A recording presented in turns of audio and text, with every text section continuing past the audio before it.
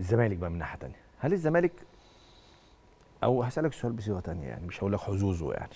بس ليه الزمالك الموسم الماضي مش هو الزمالك الموسم الحالي؟ ببساطة شديدة. بتصب في الإدارة. امم في, في, في الإدارة بشكل عام واستقرار الفرقة المشاكل اللي اتعرض ليها نادي الزمالك من حيث القيد وإن هو يقدر يستقطب بعض اللعيبه إن هي تضيف للسكواد آه، الفريق. بس آه، الزمالك كان في ظروف أسوأ من دي بكتير الموسم الماضي بإيقاف قيد ورحيل لاعبين وعمل أداء رائع جدا. تمام. آه. زائد ما أنا لسه هكمل آه،. آه كابتن أسامة نبيه واللي حصل إن هو مشي آه اعتراضا على موقفه مع الراجل وبعد كده آه بي- بيمشي الراجل بترجع كابتن أسامة نبيه تاني تمام وبيرجع مستر فيريرا تاني يبقى الحال على ما هو عليه. فأنت عملت ليه كل ده؟ وده مليار في المية شتت اللعيبة. أنا مش فاهم مين كابتن أسامة نبيه مكمل مش مكمل. زائد أنا مع احترامي لل squad أو مجموعة اللعيبة اللي داخل نادي الزمالك مش زي من سنتين أو من ثلاث سنين لما خدوا دوري وخدوا كاس مش ده ال squad مع احترامي اللعيبه دي مش ده اللي يجيب لك بطولة.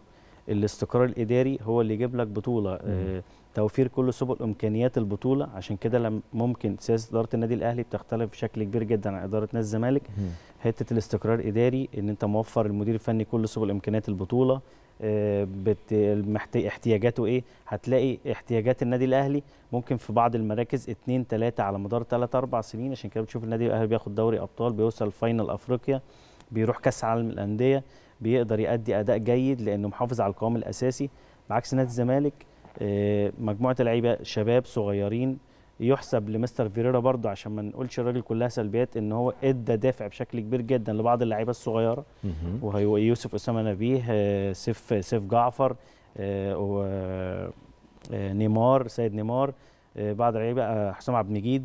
كل اللعيبة دي إضافة إضافة لنادي الزمالك لكن عايزة وقت لحد ما تجيب لك بطولة لكن أنا أنا بشوف إن كل المشاكل اللي اتعرض ليها نادي الزمالك وخصوصا ده ظهر في في في بطولة أفريقيا أو في ماتشات أفريقيا المشاكل اللي اتعرض ليها اداريا ورحيل الراجل ورجوعه حصل. تذبذب أكيد في عظيم. الأداء